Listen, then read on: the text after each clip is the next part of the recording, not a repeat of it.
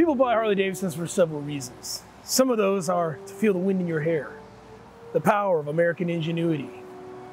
Maintenance is one of the roles of being a responsible motorcycle owner, and believe it or not, proper maintenance can help identify or even prevent major product failures that can result in hundreds or even thousands of dollars in repair costs. Having a simple factory service, like a 5,000 mile service, should be a fairly easy endeavor for a well-prepared service shop. Sadly, that was not the case for Brian.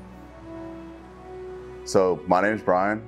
You know, I love hanging out with the boys on the weekend, drinking some cold ones. I have an XL 8883 iron that I love to throw my chick on the back of, right?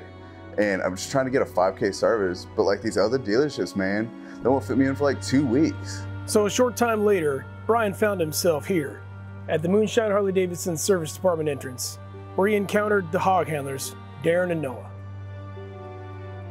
who checked in his motorcycle and introduced him to Will, the service writer, in a moment that would change Brian's life.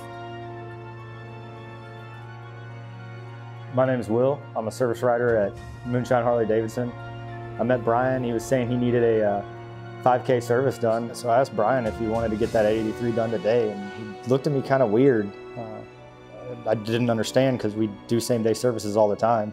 Unless it's like a 25K on a bagger, but that's like a six hour service. And they said they could fit me in the same day, get it done while I waited. It's crazy. He seemed a little weird, you know, tight pants, but we got it done for him, got him back out on the road on his 883. He said he really liked my pants. In this instance, Brian found out that all service centers are not created equal. However, he also discovered that at Moonshine Harley Davidson, we can take care of many of your service maintenance and tire needs today. So come to Moonshine Harley Davidson and we'll get you up to speed.